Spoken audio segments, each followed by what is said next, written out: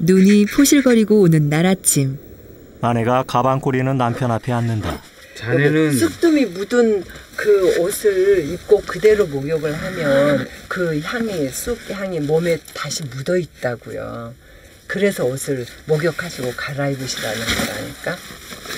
나는 그렇게 안 생각들어. 그냥 괜찮은 걸로 생각들어. 수건. 나오셔가지고 이거는 내가 들고 있다가 음. 당신 네, 나오면 해드려야 돼. 응. 안 그러면 당신 머리 막 물줄 물줄. 흘리게 하시지 말고 걱정 마. 다 내가 알아서 할 테니까. 알아서 하신다 고 그래놓고 막 머리에 물 줄줄 흘리고 나오시더라. 그게 내가 알아서 보니까. 하는 거야. 그게 감기 걸리신다니까요. 그게 감기도 내가 걸릴 테니까 걱정 마시게는. 다 하시고서는 옷 음. 아까 제가 드린 거 옷 갈아입으시고 다 그리고 음. 갈아입으신 옷은 그 비닐에 음. 다시 그옷 새옷 넣었던 거기다 다시 넣으시고 그다음에 할말 많은 아내와 들을 말 없는 남편. 음대 목욕탕에 갈 때마다 이런다. 떼수건으로 이렇게 이렇게 이렇게 음. 밀으세요. 다른 분들한테는 이렇게 안 해요. 다른 가시들이 저만 이렇게 하지. 뭐 일곱 살 애도 아닌데 왜 그렇게 자꾸 잔소리해야 돼? 다 알아서 잘하고 있는데. 그러니까 얘기하지 마 이제부터 딱 끝. 목욕하고 옷 갈아입으려던 아내와 상관없다는 남편의 입씨름은 일단 강제 종료. 이대로 끝나나 했는데 자금까지 구삭, 집게, 도르래, 갈고리. 집게 그 참 오래되기는 했다. 그때 집게도 그 두 개 사놓으니까. 그리고 맛있는 거 하나. 뭐, 아이고 그런 거 사지 마. 다 부지런해. 그 어차피 죽을 건데 맛있는 거 먹고 죽든 안 먹고 죽든 다 죽는 거야.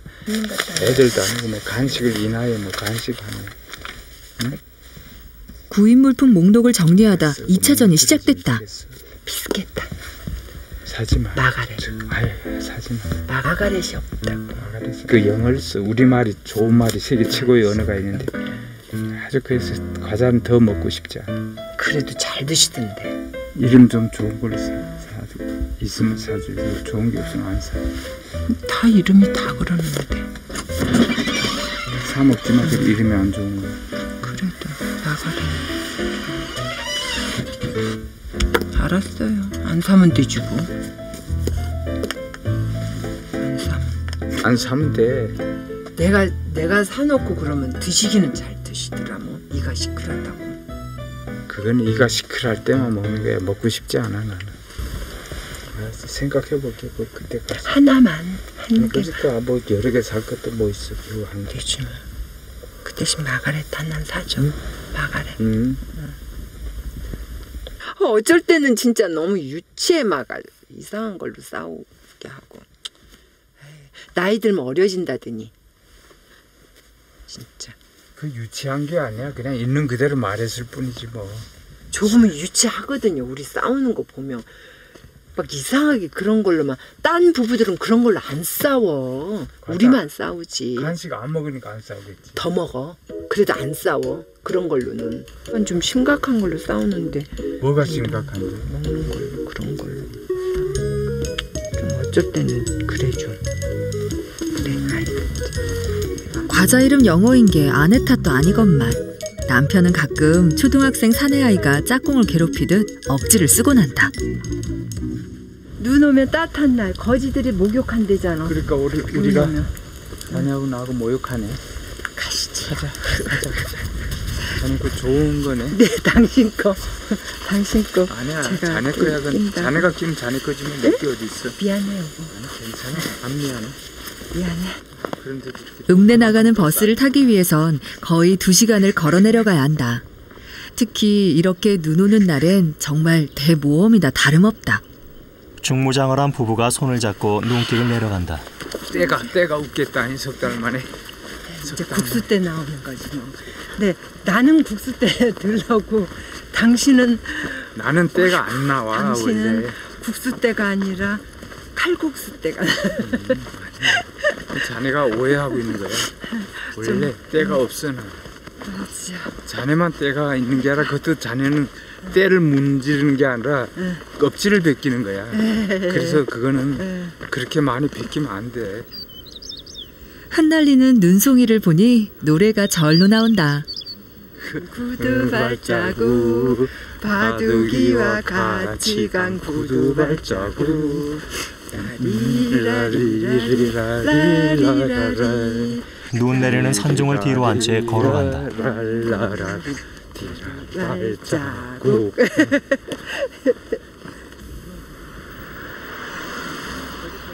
석달 만에 때 빼고 나선 길 아내가 엉뚱한 잔소리를 한다. 이왕이면 여기 지나다니는 아줌마들한테 예쁘게 보여 아 알았어요. 부부가 손을 잡고 시내를 걷는다. 그리고 집에 돌아가기 전 남편이 큰 맘을 먹은 모양이다. 아내가 가게로 들어간다. 영어 이름 때문에 싫다던 과자를 사주기로 한 것이다. 마가렛 있나요? 아 있다. 심지어 한 상자를 집는 아내에게 하나 더 집으라며 선심을 쓴다. 하나 더. 자네 둘짜리잖아. 집으로 돌아가는 길엔 아내 마음도 눈 녹듯 다 풀렸다. 집 앞 비탈길을 오르는 부부. 읍내를 다녀오면 말 그대로 하루 종일이 걸린다. 처마에 매달린 풍경이 흔들린다. 모처럼 느긋하게 흘려보낸 하루다. 아내는 독서가 취미다. 산골로 시집 올 때 다른 건 다 놓고 왔지만 독서 습관만은 버리고 오지 못했다. 나물 갖고 놀자. 남편이 앉은 채 긴 나무 막대기를 목 뒤에 대고 양손을 걸친다. 이렇게 아내가 책에 푹 빠져 있을 때는 어쩔 수 없다. 혼자 노는 수밖에. 남편이 오른팔과 왼팔을 번갈아 올린다. 그가 실내 운동용으로 고안한 스트레칭이다. 저거 도끼질하고 일하면 좀 몸이 뿌듯하니까 이걸 몸 푸는 거야. 해질 무렵 산골 외딴 집은 적막할 정도로 조용하다. TV 같은 건 안 보세요? 아 그 북쪽 사람들이 이제 인민군이 이제 총을 쏘았지 나한테. 그래갖고 한 90발 그 쏜 총소리를 정면에서 직접 들었기 때문에 고막이 그때 진짜 찢어진 줄 알았어. 그러다 보니까 잠자는데 계속 환청이 들려갖고 시끄러운 소리는 무조건 듣기 싫어했지. 한참이나 스트레칭을 했는데도 아내는 아직 독서 삼매경이다. 눈길 한번 안 주는 아내에게 괜히 심술이 난 영광 씨. 저 사람 뭐저 나이도 책 보고 희닥거리는 거야. 난 듣고 있어요 아 자네 들었어요. 난 안 듣는 줄 알고 얘기했더니 듣고 계셨구나. 참, 참. 저 사람은 저 나이에도 책 보고 희닥거린다니까 나 이해가 안 가. 세상 다 사람한테 뭐가 그 책 속에서 그 우습다고 희닥거리고 그래? 에이구 웃을 게 그렇게 없나? 자기가 팔이 아픈 나무 주물러 달라면서 나, 나는 절대 안 주물러 주지 저 사람. 애꿎은 나무하고나 씨름해야지 뭐. 할일 없으니까. 아내가 주방으로 쓰는 옆방으로 간다. 결국 아내가 졌다. 현실로 돌아온 안자 씨. 오늘 사온 과자를 내놓는다. 뭐 이런 건 먹지 말아야 되는데 애들처럼 이같이 걸어줘서 할 수 없이 먹는 거야. 그렇게 이해해. 네 난 난 더 나이 들어도 먹을래 응? 난 더 나이 들어도 먹을래 맛만 보려 그래 이거 하나. 쓴짓 한짓 음. 그냥 그러네. 제가 뭘 사달라 그러면 그래 꽃순아 나도 먹으니까 한 봉지 사줄게 그러셨으면 제가 정말 안 섭섭했어요 근데 정말 저 그때 섭섭했거든요 막 제가 그렇다고 그래서 뭐 응? 다이아몬드를 주먹만한 걸 사달라 그런 것도 아니었는데 아니 다이아몬드 주먹만한 것을 뭐 할래? 응? 뭐 어디에 쓰려고? 아니 말인즉슨 그렇다는 거지요 여기 아까 수북이 있었거든요 근데 먹어본 거예요 그게 아껴 먹는 사람이 손해다. 아, 맛있다 아무려면 어떠랴. 맛있으니 됐다. 남편이 얼음팔처럼 긴 통나무들을 꺼낸다. 더 어두워지기 전에 저녁 뗄감을 준비하는 영광 씨. 조금 전 온도계를 보니 영하 15도까지 내려갔다. 잠자리에 들기 전에 불을 한 번 더 떼둬야 방안 온기가 새벽까지 갈 것이다. 남편이 도끼로 팬 장작들을 수레에 싣는다. 남편이 외발 수레를 밀며 간다. 그는 자신이 나무꾼이라는 것에 큰 자긍심을 가지고 있다. 나름의 생각과 고민을 가지고 지켜온 아궁이. 북방식 아궁이를 다루는 데는 이만한 전문가도 없다. 스스로 연구에 이름 붙인 불떼기 방법도 있다.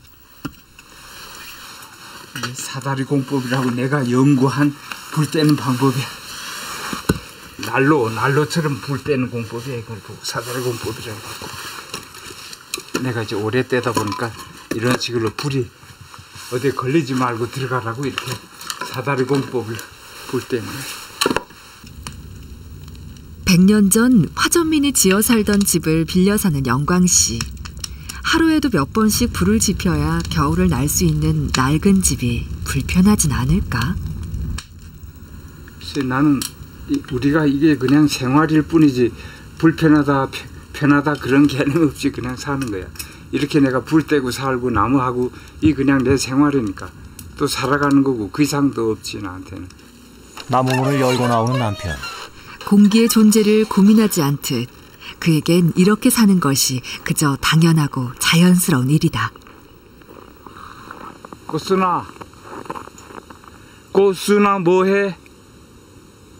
바쁘지 않으면 좀 나와봐. 꽃순아. 아내가 나무 문을 열고 마당으로 나온다. 남편 옆으로 온 아내가 나란히 서서 반달을 올려다본다. 와 이쁘다. 이 우리 아, 단음골에 봤네. 겨울에 멋진 그림이다. 이렇게 네. 멋진 그림이 됐어. 이거 이, 이 앙상한 가지 저 사이에 네. 이렇게 비친 달 봐라. 근데 당신 언제 저렇게 딱 잘라놓으셨어 이쁘게? 아니 아까 아침에 나와서 그림 그려놨지 뭐 이쁘다. 딱 반이네. 음. 네, 반달이라 그러더니. 근데 밤보다 조금 더 큰가? 어, 조금 더 크다. 이 밑에 엉치 쪽이 조금 불룩하고 위는 그냥 가는 가는데 혼자 보기 아까울 정도로 그림 같은 광경. 부부가 나무 문을 열고 부엌으로 들어간다. 부부는 매일 이렇게 자연을 누리는 호사를 한다. 처마 밑에는 불이 켜져 있고 부부가 잠잘 준비를 한다. 내일은 따뜻하게 입고 나가셔야 돼요. 새벽에 불 떼실 때. 알았어 알았어. 빨간 이불. 너무 예쁘다. 빨간 이 아내가 남편에게 이불을 덮어준다. 남편 잠자리를 챙겨주던 아내가 갑자기 장난기가 발동한 모양이다. 세뱃돈 챙겨주실 거죠? 나 잘 거야 나 안 들려. 그 불은 당신이 끄세요. 알았어. 전 못 꺼요. 알았어 무서워가지고. 알았어. 물 내가 끌게. 자, 짠. 부부는 오늘 밤 잠들 때까지 세뱃돈 이야기를 나눌 것 같다. 다음 날 아침 밤새 기온이 뚝 떨어졌다. 아내가 하루에도 몇 번씩 오가야 하는 우물가 주변도 꽁꽁 얼어붙었다. 남편이 삽으로 모래를 퍼와서 얼어붙은 길 위에 뿌린다. 마누라가 다니는데 미끄러져 갖고 저 사람은 얼음에 제일 약하니까 좀 많이 뿌리지게. 모래 뿌려줬어. 어 조심해 그래도 저 아직도 미끌미끌한 게 있어. 거기 밟으면 그대로 미끄러지는 거야. 아내가 편지를 쓴다. 부부 사이에는 소생이 없다. 그러나 단인골에서 만나 인연을 맺은 소중한 자식들이 있다. 편지 쓰는 거예요. 이제 대전 딸에게 음, 친딸보다 더 귀한 딸이에요. 우리 두 부부가 마음으로 낳은 딸이니 부부가 만나서 마음으로 낳은 딸이니 우리 부부의 딸. 사람 때문에 상처받았지만 사람만큼 소중한 것도 없다는 걸 그녀는 안다. 남편이 그릇에 물을 따라 아내에게 가져다 준다. 목마른데 이거 물이나 드시고 하세요. 목마른데. 고맙습니다, 차마담님. 저, 어디서 오신 누구시온지. 저 위안간 다방에 저 박양이라고 합니다. 어제 왔어요. 제가 추운데 저쪽 다방에서 쫓겨나갖고 이쪽에 왔어요. 예, 제가 성질이 좀 안 좋아갖고. 모두가 바쁜 세상살이. 전화를 해도 좋겠지만 안자 씨는 굳이 편지에 마음을 담는다. 오롯이 그 사람만을 생각하는 시간을 놓치고 싶지 않다. 분홍색 봉투. 봉투 색깔이 예뻐요. 네, 이쁜 딸이라 이쁜 색깔 골랐어요. 제가 이 녀석 마음이 이렇거든요. 보내드리는 분들에 맞춰서 색깔을 한번 제가 골라봤죠. 저희 이모님 같은 경우에는 이렇게 좀 이제 연세가 있으시고 그래서 이제 좀 차분하고 주황색. 그런 저기 또 이제 여기에 우리 하느니 했던 건 희망을 주기 위해서도 여- 여기에는 이제 이 편지에는 어, 희망을 주기 위해서 우리 은희한테 이렇게 썼어요. 노란색.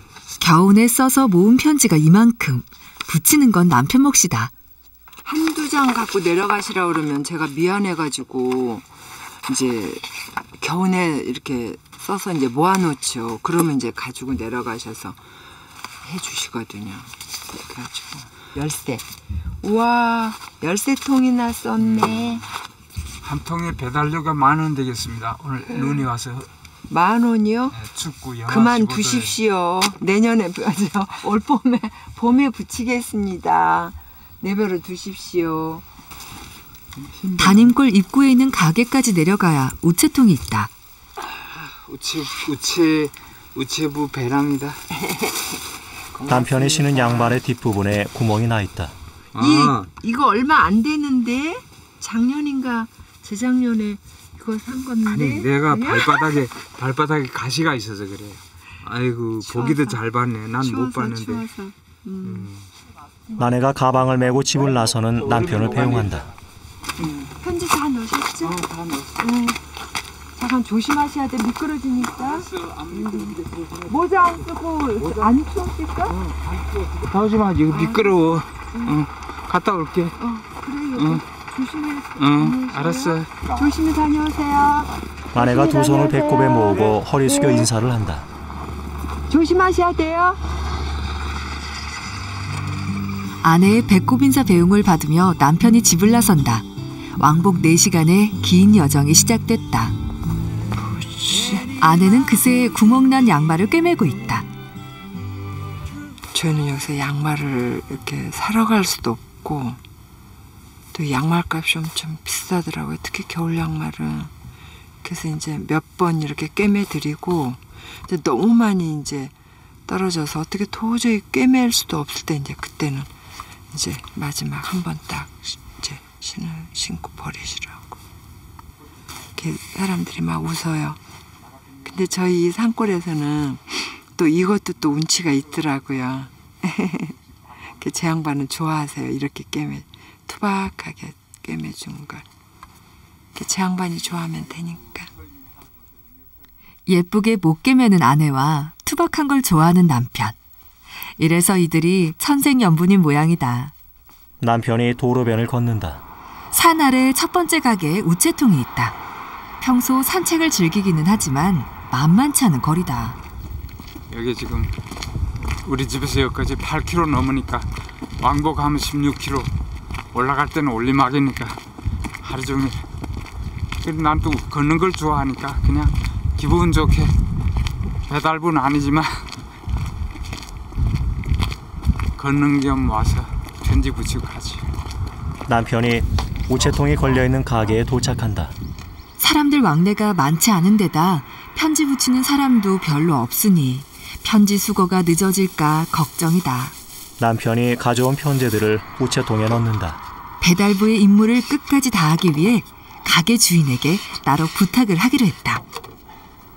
오늘은 아직도 음. 늦어야 오시고 혹시 오시면 저거 편지 많이 넣어놨으니까 한, 한 부탁 넣어놨으니까 좀 예. 빨리 갖고 가 그래서 부탁을 예 예 건강하시고 잘 예, 지내셨어요 예, 고맙습니다 네. 돌아서려는데 눈에 띄는 게 있다. 만라가 좋아하는 게 여기 하나 있네.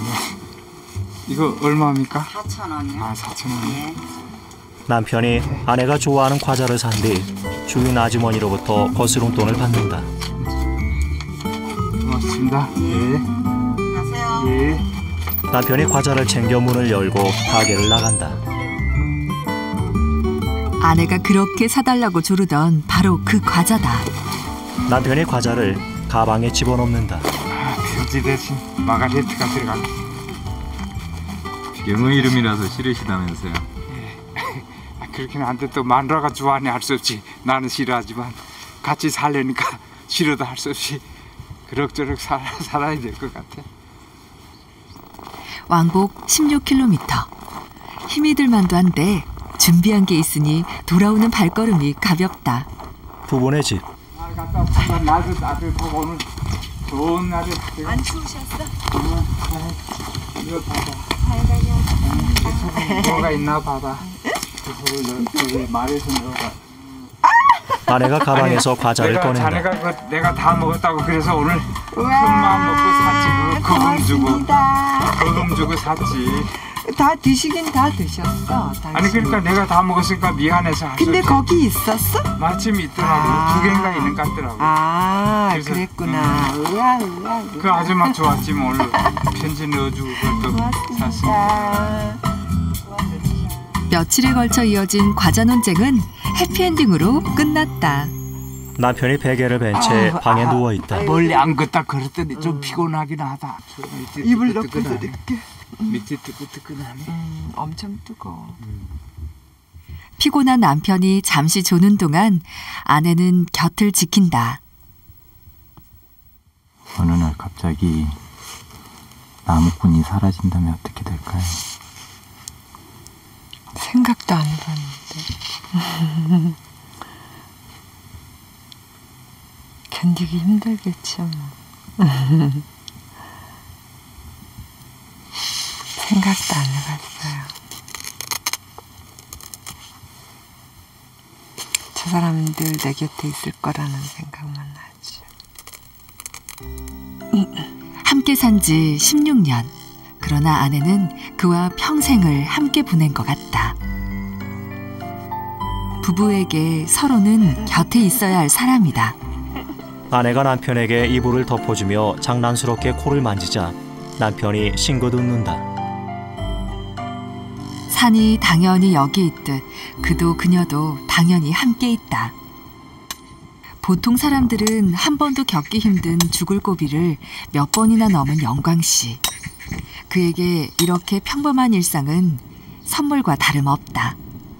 요즘 그의 화두는 단 한 가지. 어르신은 세상 살아가면서 두려운 게 제일 뭐예요? 두려운 게 두려운 게 없어. 근데 저 사람하고 나하고 이제 점점 이제 살아온 날보다 살 날이 이제 얼마 남지 않으니까 이제 좀 더 어떻게 제대로 사람답게 살아가야 될지 약간 좀 고민이 돼. 이제 우리 마지막 모습이 남들한테 어떻게 비칠까? 나의 살던 고향은 꽃피는 산꽃 부부가 손을 잡은 채 서로를 마주보며 노래를 한다. 살구꽃 아기 진달래 부부가 있는 오두막집으로 하얀 쌀밥 같은 눈이 폴폴 온다.